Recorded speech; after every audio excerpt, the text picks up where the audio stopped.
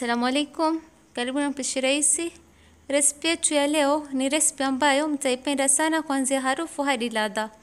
Leo ninaofundisha kutengeneza chai ya maziwa tamu sana. mtaotengenezea kwa njia ambayo mtaipenda sana. Na kabla sijamaliza kuwaelezea resipi, ningependa msubscribe channel yangu na mbofya kengele itakayokuja baada ya kusubscribe ili msikose kila resipi mpya tutakayopost. Pia like hii video na share na wenzako ili wao pia waweze kufaidika. Pia ni follow Instagram mapishi rahisi. Mahitaji yetu ya chai ni rahisi sana na inapatikana katika kila nyumba. Unahitaji maziwa nusu lita, sukari vijiko vinne vidogo, dalasini mbili na karafuu sita,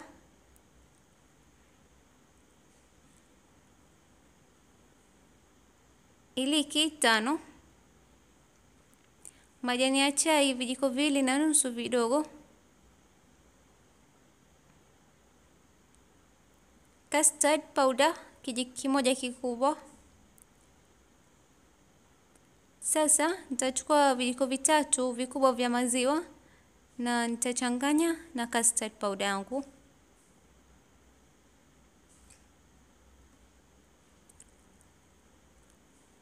Changanya vizuri na uweke kando.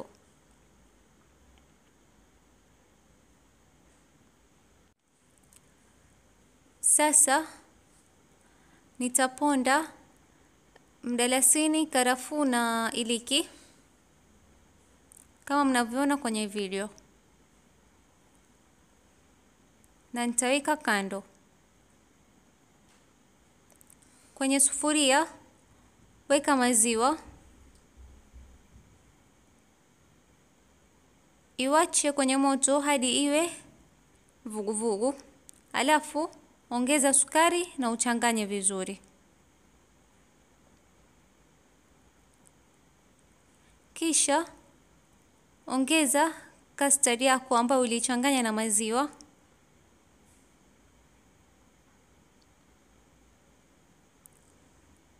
Changanya vizuri na uongeze cinnamon, cardamom na cloves ambazo uliziponda na chai yako, majani ya chai. Changanya vizuri na uache kwenye moto hadi ichemke.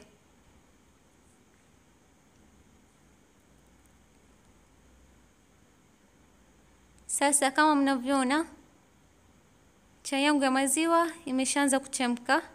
Nitaitoa kwenye moto na iko tayari kunywa.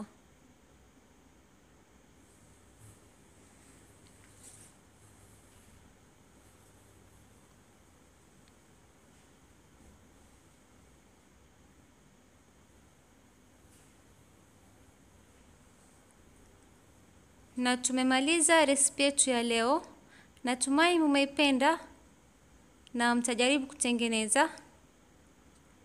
Nitawekea resipi kwa maandishi kwenye description box, na sasa nawekea comments nne nilizochagua, na kama unataka jina lako lionekane kwenye video ijayo, basi niwekee like na comment hapo chini, na kama wewe ni mpya kwa channel yangu usisahau kusubscribe na kubofa kengele itakayokuja baada ya kusubscribe ili upate kila recipe mpya tutakayopost katika hii channel.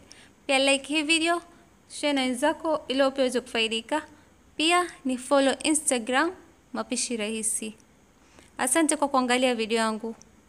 Bye.